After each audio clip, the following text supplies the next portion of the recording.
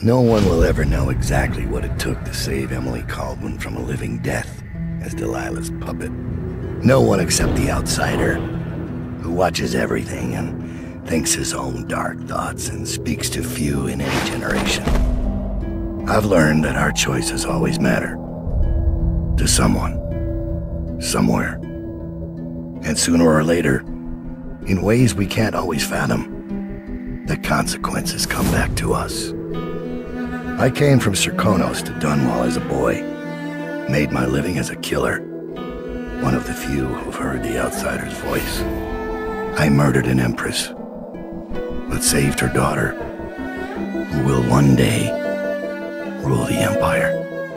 Those were my choices. I'm ready for what comes.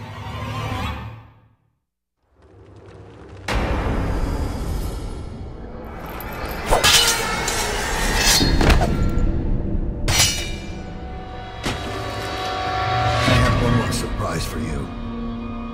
I asked for my life. When I killed your empress and took her daughter, something broke inside me. Now I want nothing but to leave this city and fade from the memory of those who reside here. I've had enough killing. So my life is in your hands. Make your choice. You make an eloquent plea for a man with innocent blood on his hands.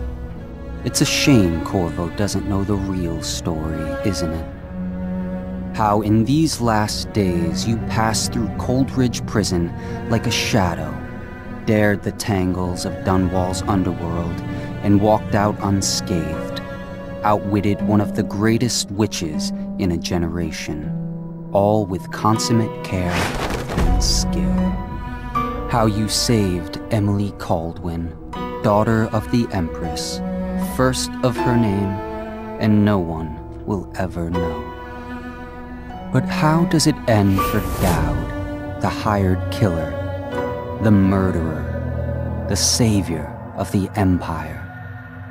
It's up to Corvo now.